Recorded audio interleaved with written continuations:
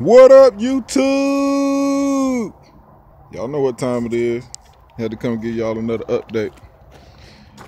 Well, you guys, I've been playing around for shits and giggles. I finished the box. And I still gotta sand it down and paint it. But check that out. Yes, you guys, them are some road gear six and a halves. That's just for shits and giggles, you guys. I'm not running six and a halves. I'm gonna run some tens. Or I might run some eights. I ain't made my mind up yet, but I had these six and a halves just sitting in the building, and I put them in here for shits and giggles because the box was just gonna be in here empty, and I know the subs I gonna put in here gonna be way bigger, so I can recut the holes later. But yeah, for shits and giggles, I put these six and a halves in here. Fucking Roadmasters, and I just got them running straight to the fucking CD player. And I've been getting some flex. This box actually sounds good. These are actually subs. Put the cap on time they took. Here. Yeah, face.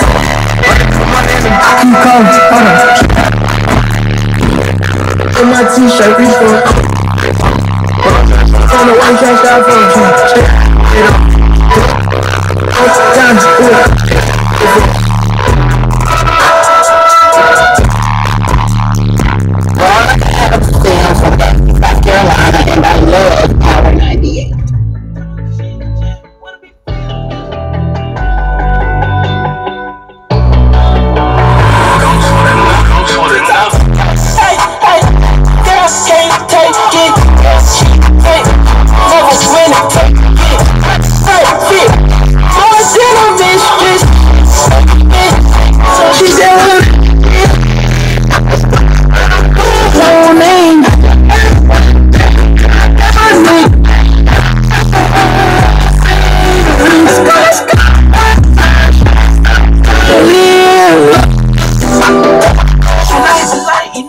my god, you guys, this shit's fucking funny.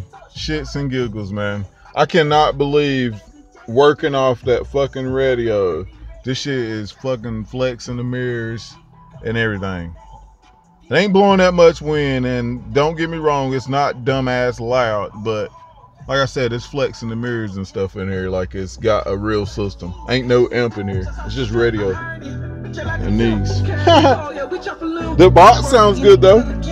Turned out all right. Ported it out the bottom.